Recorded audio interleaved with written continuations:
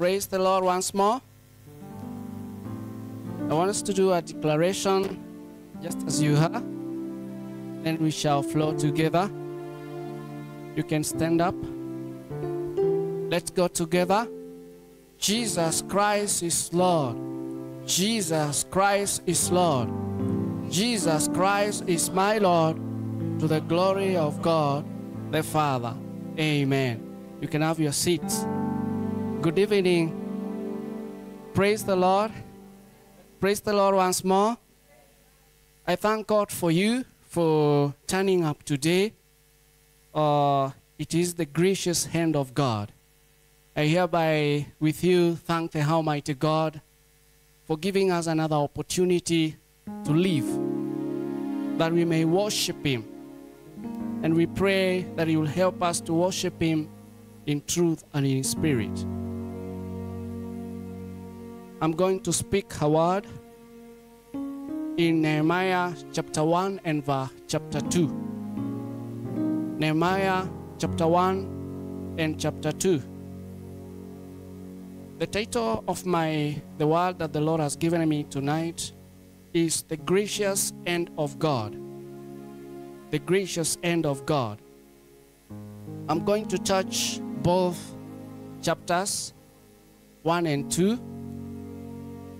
And my main verse will be chapter 2 and verse 8. I'll paraphrase chapter 1 as I flow to chapter 2.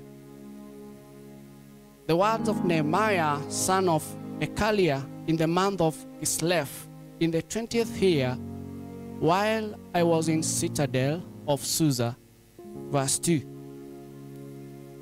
Anani, Anani, one of my brothers, came from Judah with some other men, and I questioned them about the Jewish remnants that survived the exile and also about Jerusalem. This is Nehemiah speaking. Nehemiah was a cupbearer. A cupbearer. I think a cupbearer is an house help because he used to serve the king. He was mainly located, his section of work was in the kitchen. So his work was like washing utensils and serving the king wine. That was the job description of Nehemiah.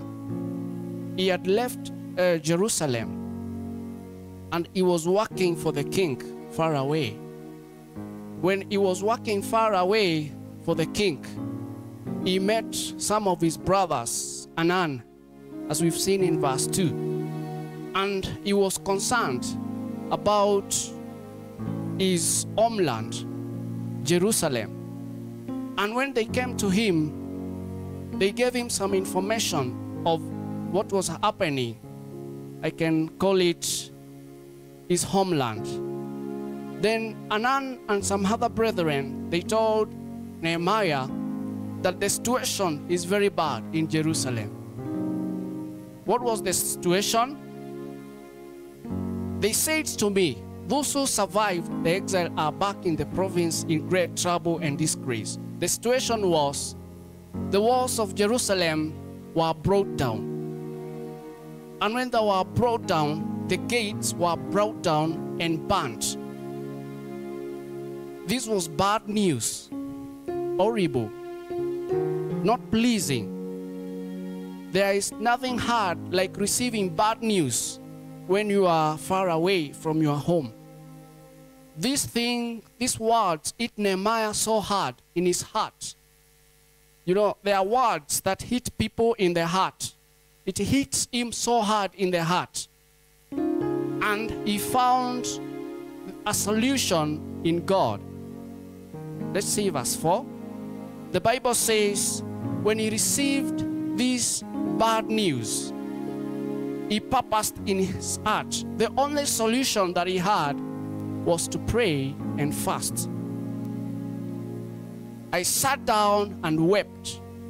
For some days I mourned and fasted and prayed before the God of heaven. That was the immediate thing that he saw. He did not think of going to discuss with his colleagues. He did not think of uh, other solutions, but first he thought of prayer and fasting. Remember, he was working in the palace, so he had access of the king. He had access of authority. He could have told the king to go and sort them out, and they would have gone.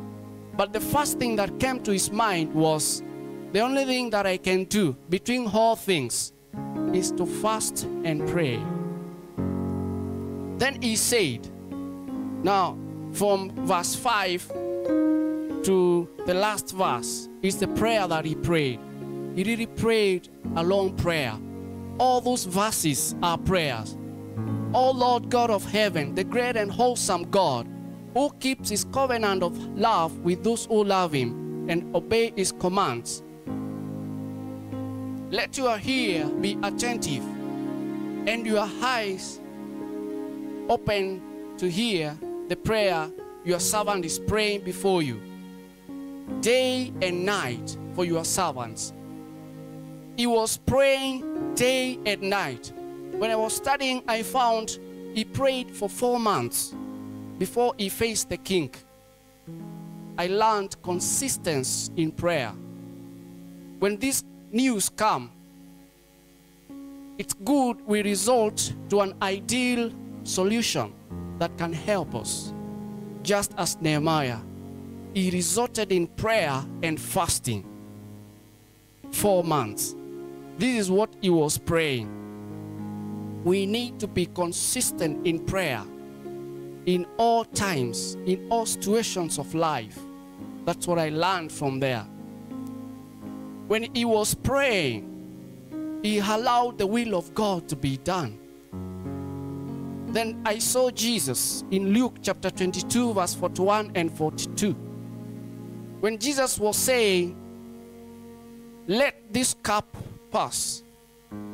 Then in the other verse, verse 42, he withdrew about a stone, he went away. Father, if you are willing, take this cup from me. So it's like he wanted it to be taken away. Yet not my will, but your will be done. When Nehemiah was praying, he was seeking the will of God to be done for his people who are suffering in Jerusalem. It was a dire situation because there were no protection. The wall was down. The gates were burned. Tobias and Sanballat kind were mocking with a lot of reproach. They were laughing at the remnants in Jerusalem. It was really bad. It was hitting so much in Nehemiah's life. But what Nehemiah sought was the will of God to be done, just as Jesus. Then I correlated it with today's life. There are many issues in today's life. We can resort very fast in prayer. It does not cost us anything but to pray. The only cost is it is hard work. Prayer is hard work. I have come to find one of the hard work to do under the sun is prayer. So we just need to work hard. That's the only cost that we need. In this prayer that he was praying, he needed clarity and understanding. We will see it as we continue. Then, let's go. Uh, let's go back to Nehemiah chapter 1. It's in prayer we receive solution, clarity, and understanding. We receive clarity and understanding in all realms that we live. And that's what Nehemiah was seeking. He was seeking a clarity and to understand on how to handle the situation in Jerusalem. Then I say, when we pray consistently and hard working, we will receive clarity and understanding. Nehemiah took his sorrow to the Lord in prayer about the situation in Jerusalem.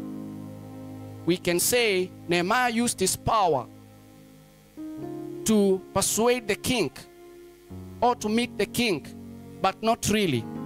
So, from there to the end verse of Nehemiah chapter 1, it was just prayer. He was praying for his people. There is need to have a burden of the work of God that he has placed in our hands. There is need to have a burden of our people. There's prayer, one prayer I pray. I tell God, help my father's house and my mother's house. I also pray, expose every wickedness. I had Bishop pray so ante. Expose every wickedness. Why? So that the will of God will be realized. It's good as Christians, you feel the burden of your people. And that's what Nehemiah had. He was looking for clarity and understanding to find a solution to help the people of Jerusalem. Let's go to chapter 2. Chapter 2. Now, in chapter 2, after Nehemiah had prayed, in the king's palace there was a lot there were a lot of servants who were working. Now it came for a turn of Nehemiah to go and serve the king. God will always provide an opportunity for us to be helped of him. When we pray consistently, when we have a burden and work on it, God will provide an opportunity for him to help us. In this month, when wine was brought for him, for the king, I took the wine and gave it to the king. I had not been sent in his presence before. The next verse. When he came now to serve the king, he, he was still unaware. He was still affected by the situation that had happened. He had prayed and waited for the will of God to be done. Now here he is serving the king. He saw an opportunity. You know, a stressed person is a stressed person. You cannot pretend when you are stressed. We will see. Even if you pretend, we will see. The king saw, this is not the Nehemiah that usually serves me. He saw him, he was sad. Then he asked him, Why does your face look so sad when you are not here? This can be nothing but sadness of heart. It's true, he was affected in the heart. I was very much afraid. He was very much afraid. The next verse. We can see in the next verse, but the, I say to the king, May the king live forever. Why should my face not look sad when the city where my fathers are buried lies in ruins and its gates have been destroyed by fire? You know, we were told this grace makes us to be sober. This man was sober because he was being affected over what was happening. If you live in the Lord, if you walk in righteousness, when things are happening, you will be sober and you can sense what is happening. Then the king said to me, What is it you want? Then I prayed to God of heaven. It's always good before you respond to situations, you seek counsel from above. He sought for a reply, for a rejoinder from heaven. And I answered the king, If it pleases the king, and if your servant has found favor in his sight, let him send to me the city in Judah where my fathers are buried so that I can rebuild it. Now he is speaking out was what had made him stand. The news that he had received from Anani and the brethren. So I'll paraphrase, then go to verse 8. So he tells the king, he was sent because of what was happening in Jerusalem. Then the king asked him what to do. He sought. Before he answered the king, he sought from the Lord on what to speak. Uh, when he sought from the Lord on what to speak, the Bible says that the king granted him his requests. Let's see verse 8. And when he sought, he was seeking for an off or a leave to go to Jerusalem and rebuild the city. The city. Number two, he was seeking for some help in terms of resources to go and build the city with. Blessed be the name of the Lord. He was granted this. And may I have a letter to Asaph? So he also, to reach Jerusalem was not easy. There were some kingdoms and enemies. So he sought for passes which will help him to pass and reach Jerusalem. Number one, he sought for resources. Number two, he sought for a pass. And number three, he sought for security. Now, blessed be the name of the Lord. There is results in waiting upon the Lord. What did the king grant him? The king granted him letters to pass through to Jerusalem. The king granted him resources, timber for building, and the king added him security. When we were doing our declarations at the end of the year, one of our declaration is that God will give you new connections. God will give you, uh, uh, uh, will, will connect you with people who will help you. He was even given horses and men to go with him. Then he even testified in verse 8 and may I have a letter to Asaph, keeper of the king's forest, so he will give me timber to make beams for the gates of the citadel by the temple, and for the city wall, and for the residence I will occupy. And because the gracious hand of my God was upon me, the king granted my request. Blessed be the name of the Lord. This happened because the gracious hand of his God was upon him. You see, he was even given a bonus of whatever he asked. We can read and see what he had asked. You can go to verse 7. Verse 7. Verse 7. Go back to verse 7.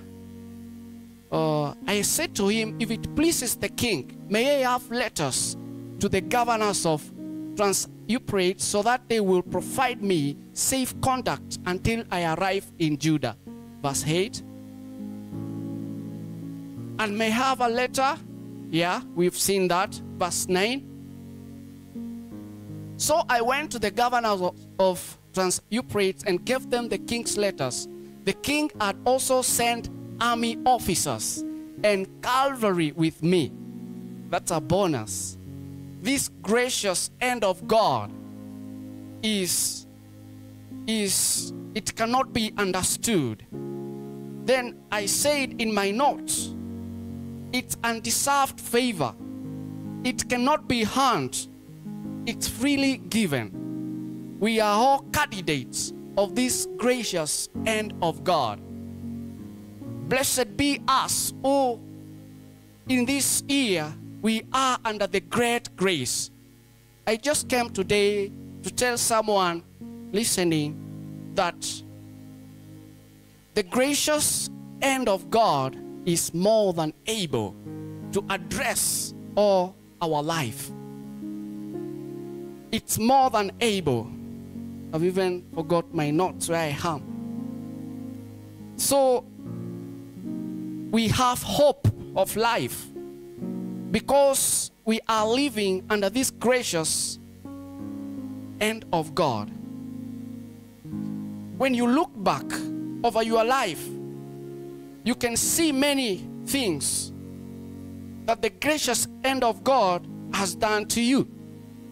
When you are looking to be married, the man that you saw you are with is the gracious end of God. The livelihood that you are earning is the gracious end of God. The health that you have when you are sick and you are healed, it was the gracious end of God. then I came to tell you there is even hope. This gracious end of God is still at work. He is the same God who was, who is, and who is to come. God of Nehemiah is our God. And by his gracious end, he is gonna sort it out. We can see in verse 18, he even gave a testimony when he went back to Jerusalem. He went and did some pre-visit of how the place was in Israel, how it was ruined. Then he came and met the men and told them, Now we have to start the work. Let's see verse 18. Then they were not so sure, certain if it will be done. Then he is telling them, Let us start building. I also told them about the gracious end of my God upon me and what the king had said to me. They replied, Let us start rebuilding. So they began this good work. Blessed be the name of the Lord. I read the, the, the verses ahead and saw some wicked people, Tobias and Sanballat. They came mocking them, telling them ati hii ukuta yenye mmejenga inaweza angushwa na fox even. But by the end of the day, it is stood. I also read that that war was supposed to take a year.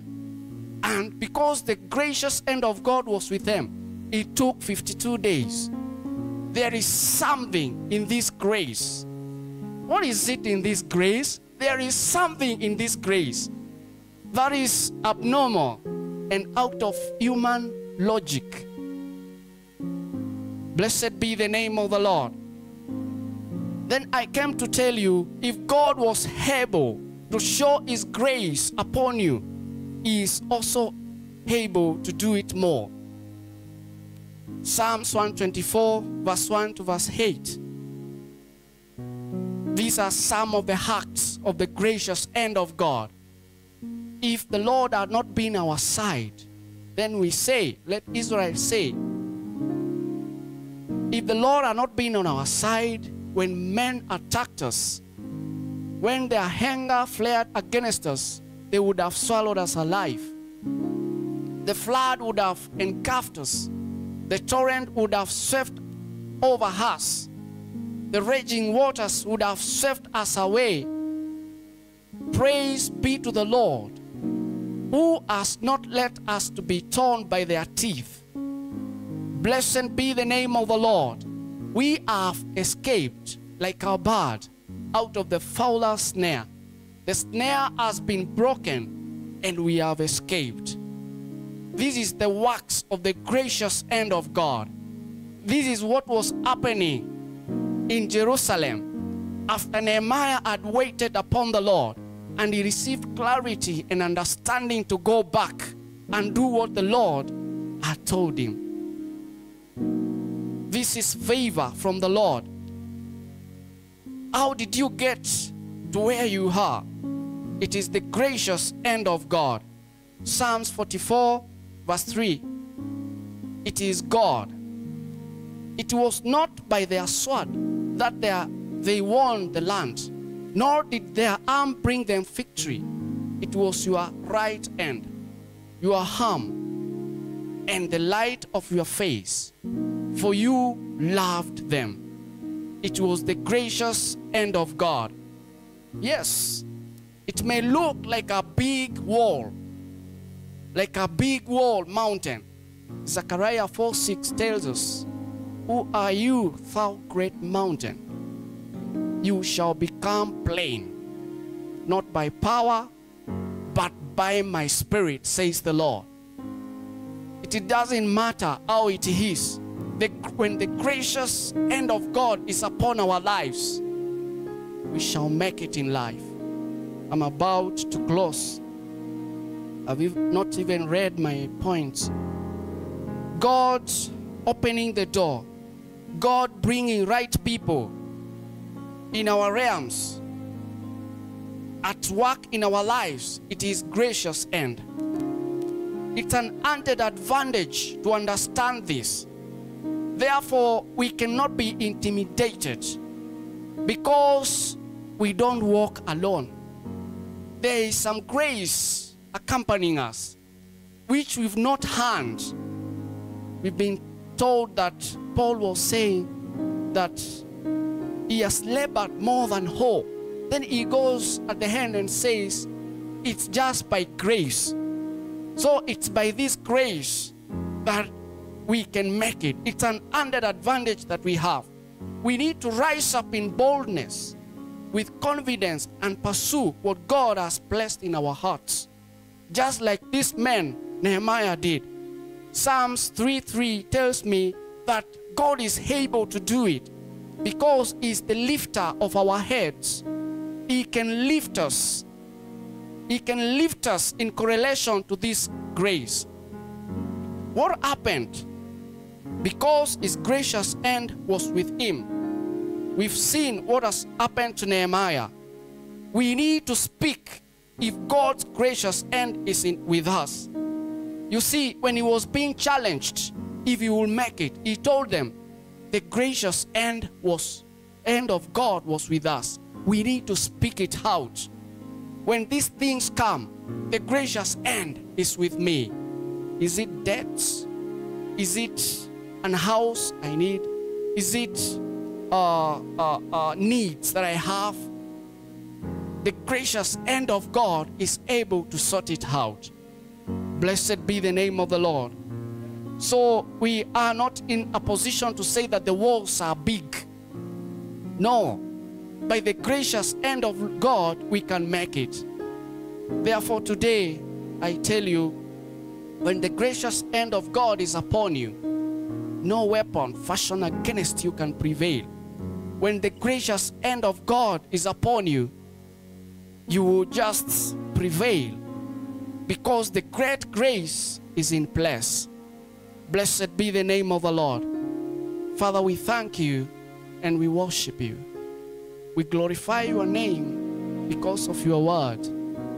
Help us, dear Lord, that we will abide to see these works in our lives. May your gracious end be upon our own lives, our own families, our ministry, even this nation. Father, we thank you because you are faithful. In Jesus' name we pray. Amen.